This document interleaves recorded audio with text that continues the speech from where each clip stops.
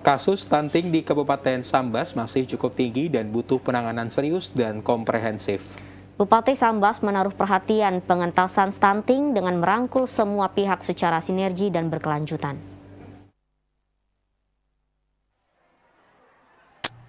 Anak masuk kategori stunting ketika tinggi badannya menunjukkan angka di bawah minimal 2 standar deviasi terlebih untuk anak di bawah usia 2 tahun harus ditangani dengan serius.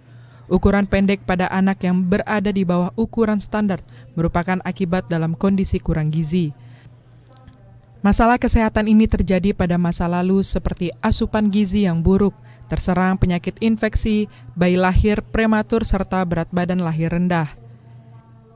Gadis Kesehatan Sambas Fatah Maryunani mengatakan, pemerintah Kabupaten Sambas cukup serius menangani stunting yang saat ini jumlahnya telah mencapai 600 orang lebih.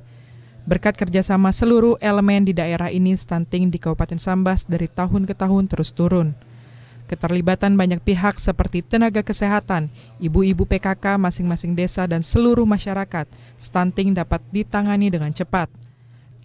Terakhir kali balita tinggal 15 persen dan yang lainnya tinggal 10 persen lebih. Untuk wilayah Kalbar, kasus stunting masih berada pada zona merah yaitu lebih dari 30 persen. Salah satu penyebab stunting selain nutrisi yang buruk adalah anemia saat ibu hamil juga masih tinggi. Yang cenderung naik dari 37 persen tahun 2013 dan 48 persen tahun 2018 jadi separuh dari ibu hamil anemia semua. Selain gizi yang buruk, stunting juga disebabkan pemantauan tumbuh kembang anak dan imunisasi lengkap yang tidak sempurna. Penyebab dasarnya kondisi ekonomi keluarga yang rendah, namun tidak menutup kemungkinan pola pengasuhan yang kurang diperhatikan sehingga menyebabkan stunting. Sejumlah program perbaikan gizi anak mulai dari peningkatan kesehatan ibu dan anak, penurunan kematian ibu dan bayi, peningkatan KB dan produksi yang nantinya berdampak pada penurunan stunting. Beberapa kecamatan yang memerlukan perhatian khusus dengan kasus stunting masih sangat tinggi antara lain Kecamatan Paloh, Simpang 4, Selakau Timur, Sungai Baru, dan Sajingan Besar masih di atas 20 persen bahkan Kecamatan Paloh masih 28,1 persen. Sementara Semparo, Matang Suri, Pemangkat, Salatiga, dan Selakau sudah di bawah 10 persen. Tahun 2021 stunting untuk balita tinggal 15,8 persen. Untuk sampai saat ini memang kita masih tergolong tinggi lah, masih di level tengah lah kalau dibanding di kabupaten lain. Untuk saat ini kita masih ada 16,2 persen.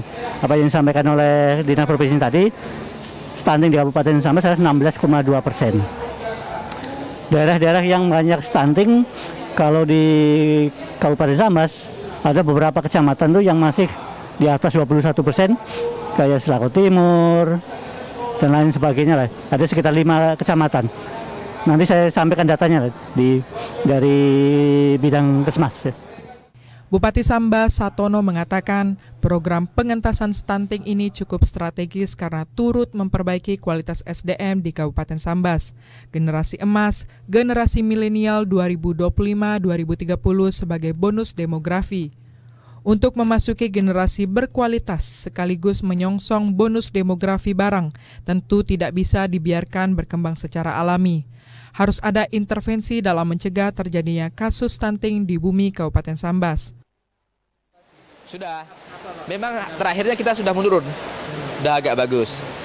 5, Des 5 Agustus yang lalu memang eh, arahan Pak Presiden melalui atasnya memang Kalbar ini ranking 10 besar se-Indonesia.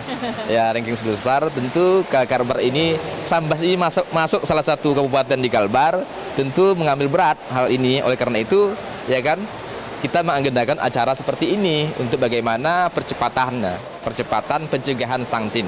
Tentu melalui intervensi-intervensi. Kalau ini intervensi saya yakin nggak bisa. Ya kan? Ya, tentu hal ini bisa berhasil. Dalam rapat-rapat pembahasan tingkat pusat, Kalimantan Barat masuk 10 besar dengan kasus stunting.